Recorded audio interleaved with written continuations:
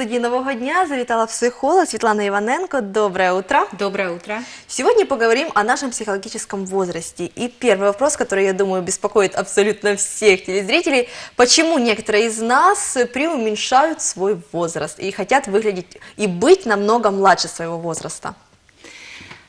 На самом деле мы э, тоскуем иногда за состоянием, которое было раньше.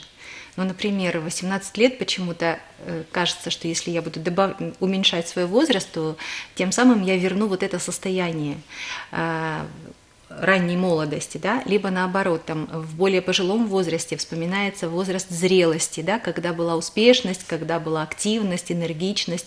Так вот, мы это делаем, там, желаем, хотим уменьшить свой возраст для того, чтобы просто вернуть состояние. Э, следующий вопрос. Э, правильно ли оглядываться в прошлое и как это влияет на человека? Потому что, естественно, что мы хотим вернуть некоторые приятные моменты, но действительно ли нам это нужно? Э, оглядываясь в прошлое, мы упускаем ресурс настоящего – Потому что энергичность и вот сила и опора, она может быть только в моменте здесь и сейчас.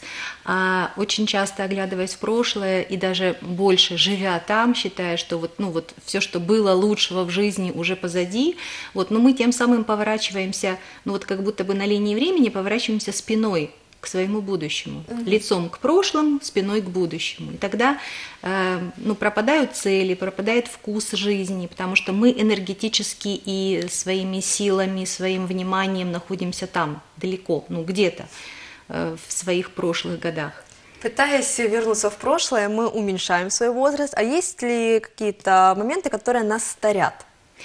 Ну вот э, это тоже один из моментов, который старит, потому что, э, ну я уже говорила, что вот, находясь в прошлом, мы энергетически туда помещаем свое внимание, свои силы, и здесь теряем ресурс. Угу. Э, точно так же происходит, если мы чрезмерно зацикливаемся на будущем, да, ну, то есть если есть много тревоги по поводу будущего, много страхов по поводу того, что будет. Вот. И есть еще ловушки, в которые мы попадаем, вот, которые нас старят. Это э, чрезмерная ответственность, контроль за взрослыми, там, допустим, домочадцами, то есть чрезмерное участие. Вот. Также может стареть э, груз непрожитых ситуаций. Но опять-таки, если они грузом лежат, вот э, если они вспоминают... А как это груз непрожитых ситуаций?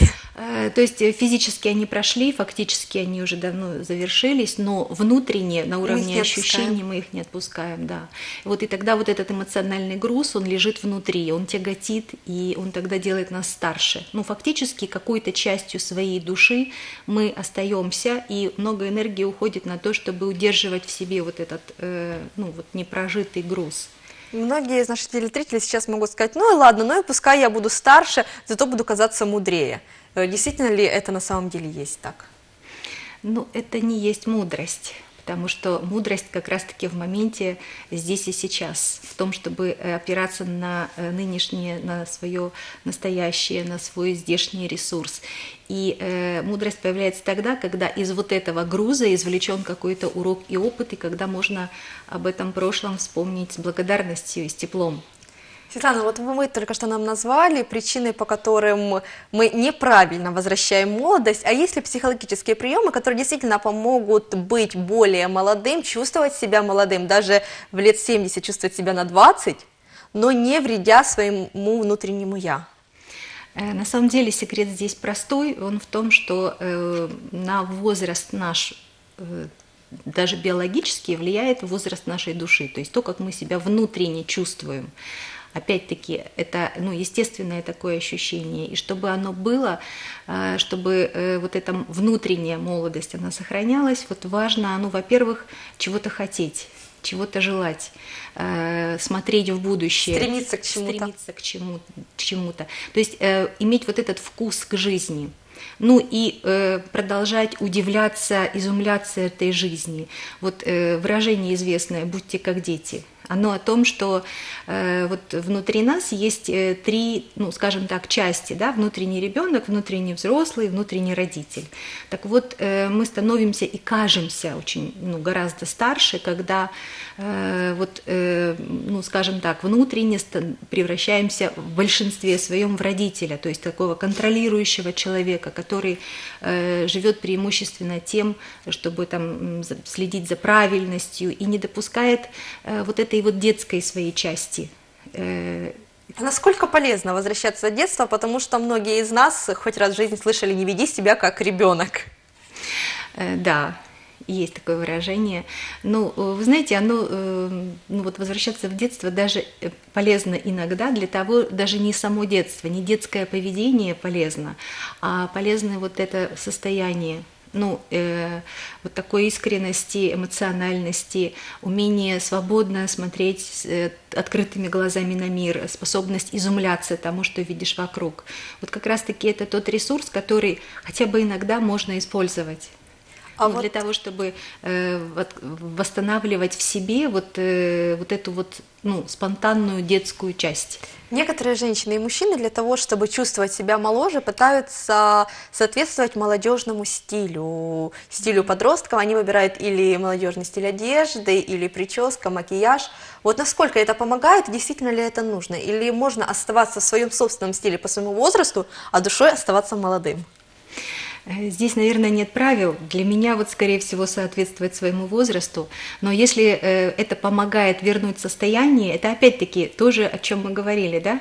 Э, ведь используют детскую, ну, подростковую молодежную одежду для того, чтобы послучить состояние. Ну, я чувствую так себя, как когда-то, да?